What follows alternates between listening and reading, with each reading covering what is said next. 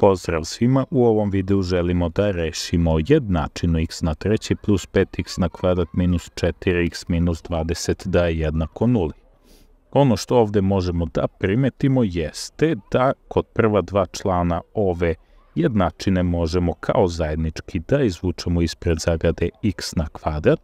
U zagradi će ostati kada iz x na treći izvučemo x na kvadrat ostaći x prepišemo plus, a kad iz 5x na kvadrat izvučemo x na kvadrat, ostaće 5. Zatim, iz trećeg i četvrtog člana možemo da izvučemo zajednički minus 4. U zagradi će ostati x plus 5, da je jednako 0.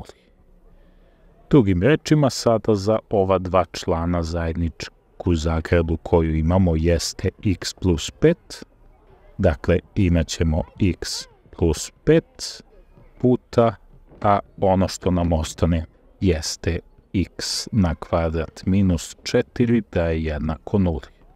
Ovo sada dodatno možemo da rastavimo na činioce, jer ako dobijemo nešto oblika a na kvadrat minus b na kvadrat, mi pomoću formule za razliku kvadrata to rastavljamo na činioce da je a minus b što množi a plus b, pa s obzirom da ovde ovu četvorku možemo da napišemo kao 2 na kvadrat, možemo da tu zagradu rastavimo na činioce i imat ćemo po formuli za razliku kvadrata da je x na kvadrat minus 4 zapravo x minus 2, što množi x plus 2 da je jednako 0.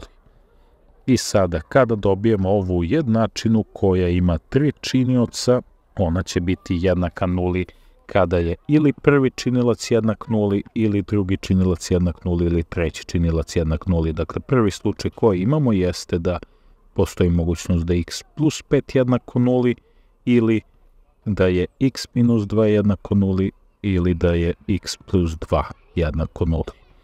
I onda sada ovo kada x plus 5 jednako nuli, odatle sledi da x jednako 0 minus 5, odnosno x jednako minus 5, Druga varijanta je da x minus 2 je jednako 0, odnosno x će biti jednako 0 plus 2, a to je 2. I treće ono što imamo jeste da je x plus 2 jednako 0, odnosno x će biti jednako minus 2, dakle ova naša jednačina trećeg stepena ima tri rešenja.